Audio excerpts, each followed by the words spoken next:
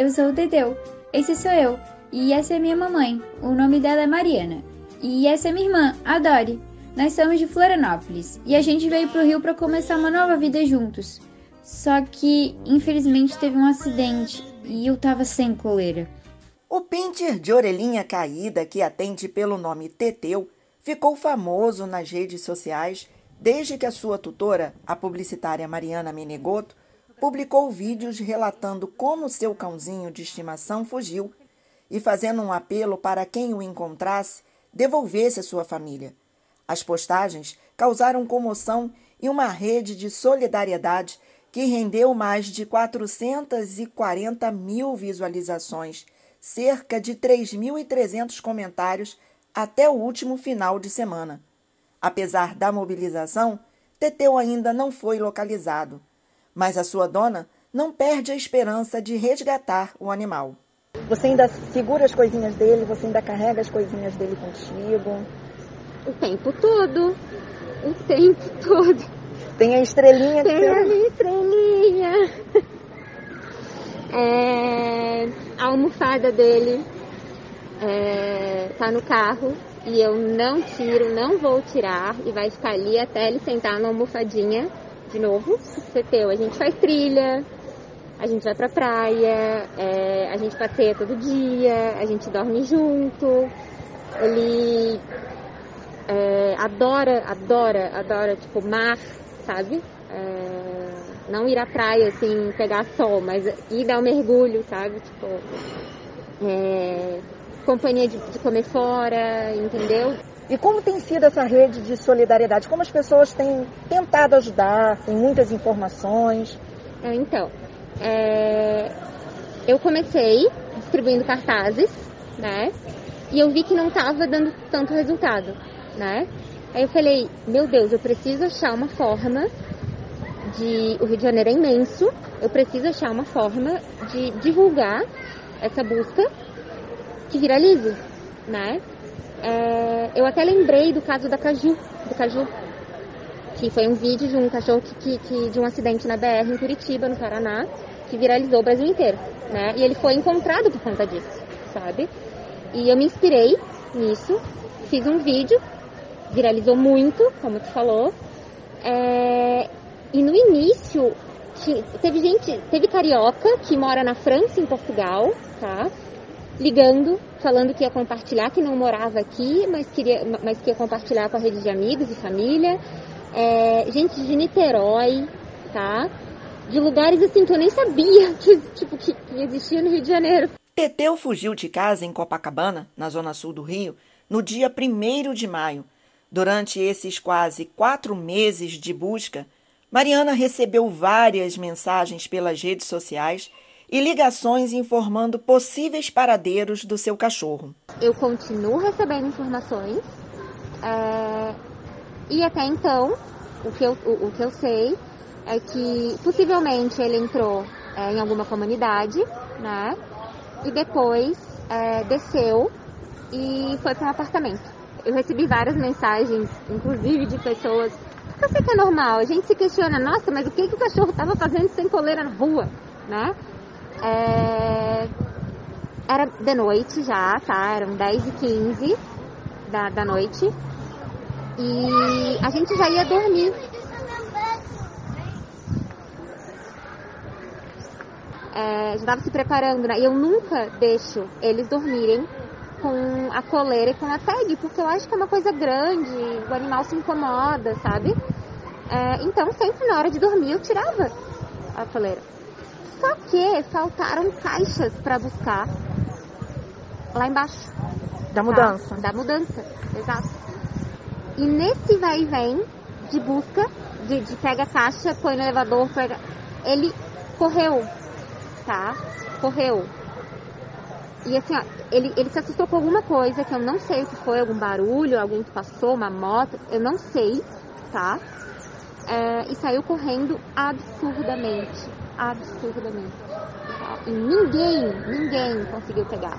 Segundo relatos recebidos por Mariana pelas suas redes sociais, Teteu foi visto pela última vez nesta localidade em Copacabana, Ele teria sido reconhecido por moradores que tentaram pegá-lo, mas ele se assustou e saiu correndo pelas ruas do bairro. Depois desse episódio, não houve mais nenhuma informação do animal. Não ter, sabe, um, um desfecho, um, um, uma notícia, uma totalmente concreta, dá uma agonia, assim, uma, uma expectativa o tempo todo. É constante essa expectativa, entendeu? E aí acaba que não acaba nunca. Jorge é adestrador e desde 2005 trabalha na captura de animais fujões, com o auxílio de cães farejadores. Tem um treinamento e uma certificação exclusiva para isso, tá? Não adianta você pegar o cachorro que busca por pessoas desaparecidas e querer que ele busque por um pet. Os sinais deixados, as pistas deixadas por um mascote, ela é muito diferente. Nós temos do gato que ele tem mais assim perdas de pelo, pouca descamação e pouquíssimas situações de marcação de almisca, né, com urina Diferente do cão que deixa marcas quando ele transpira, vai pela língua, quando ele está caminhando, ele faz xixi em determinados pontos. Então, para cada tipo de animal, tem um protocolo exclusivo para esse processo de busca.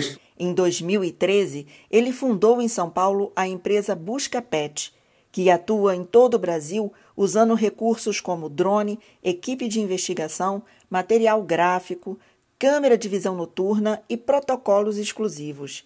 Por dia, são cerca de 70 pedidos de socorro.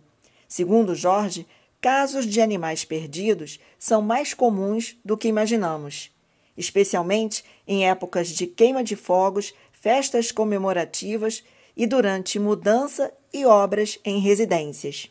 Se você está procurando sozinho, a primeira coisa que você deve entender é que não tem um tempo hábil para se encontrar o seu animal que está perdido, seu mascote que está perdido. Isso pode levar de dias, algumas horas, até meses, e já teve casos, que são muito raros, mas acontecem, de anos.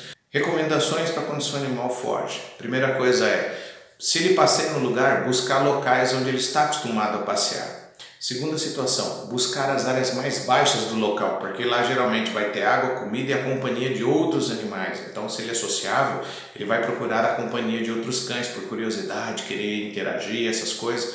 Então é muito provável que ele esteja nesse local. Fazer a fixação de cartazes em vários pontos aonde você costuma passear com ele, nos pontos mais frequentes. Os cães sempre buscam esses mesmos locais. E aí você passa também a conversar com as pessoas, não somente fixar os cartazes. Outra coisa muito, muito importante é você fazer aí a contratação de serviço, a propaganda paga, né, na, em, em redes sociais, porque você consegue aí aumentar ainda a gama de pessoas que vão ser atingidas e vão observar o post do seu animalzinho que está perdido. Casos como o do cãozinho Teteu, a população tem como ajudar nas buscas e evitar que o animal siga para um abrigo e volte para o melhor lugar do mundo, o seu lar.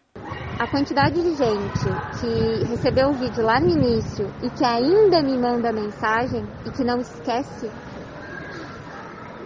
é impressionante. Qual apelo você faz hoje para uma pessoa que de repente possa ver o Teteu na rua? Eu peço que a pessoa, além de tentar se colocar no meu lugar, tá, e da falta que eu estou sentindo, é, tentar entender que tem outra, tem outro cachorro envolvido, né? E que essa fêmea, ela tem 11 anos, vai fazer 12 agora, e se tu olhares uma foto dela, quando ela chegou no Rio, né? E como ela tá agora, o envelhecimento dela, assim, ó, é. é não vou dizer enorme porque, né, tipo, pra tentar não, não impressionar muito mais, não me impressionar muito mais. É notório o envelhecimento dela. Eu tenho esperança e eu tenho certeza que ele vai voltar. Eu sei que eu vou tocar o coração da pessoa. É... Eu acredito, por incrível que pareça, eu ainda acredito no ser humano, tá? É... E eu acho que com amor a gente consegue um mundo de coisas, tá? Pode ser inocente, ingênua a minha frase, mas eu realmente acredito nas pessoas, principalmente quando se trata de animais, tá?